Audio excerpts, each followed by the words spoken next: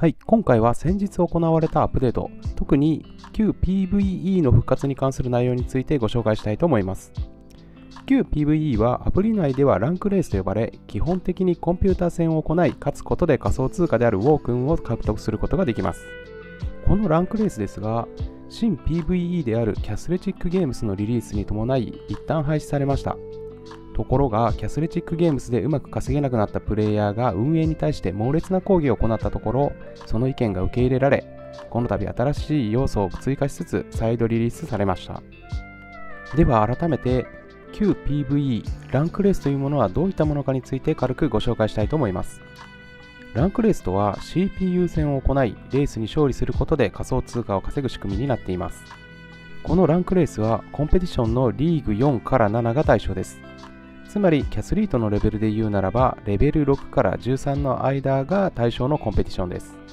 レースで勝った時に受け取れる仮想通貨の額はプレイヤーランクに応じて増加します。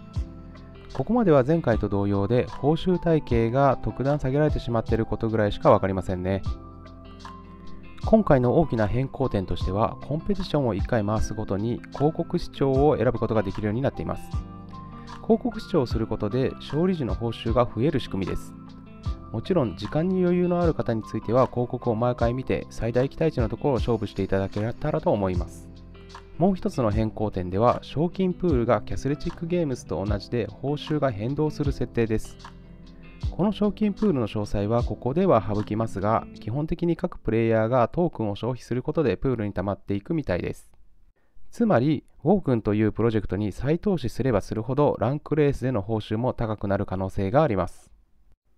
また、コンペティションの報酬プールは PVP、PVE が同じなので、これまでクロート向きだった新 PVE の報酬プールは、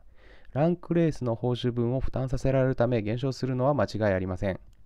言い換えるなら、旧 PVE はプロジェクトに対して貢献度の高いプレイヤーの報酬を貢献度の低いプレイヤーに流す施策だと言えます。ただ、これが一概にいい悪いというわけではありません。ライト層がある程度活発になることで追加投資の流れや新規プレイヤーの流入へつながる可能性もあります。これは OK に限ったことではないのですが、BCG といった分野は世間一般的にも認知度が高いとは決して言えず、また仮想通貨を利用する特性から通常のソシャゲと比較しても参入するための敷居はどうしても高くなってしまいます。プロジェクトの成否はプレイ人口の総数にも大きく影響を受けますので、新規顧客獲得やライトユーザーに向けたアピールも必要なのは間違いないと思っています。まあ、ともあれ今後の流れは注視してみておく必要がありそうですね。はい。ということで、今回は旧 PVE であるランクレースについてご紹介しました。最後までご視聴いただきありがとうございました。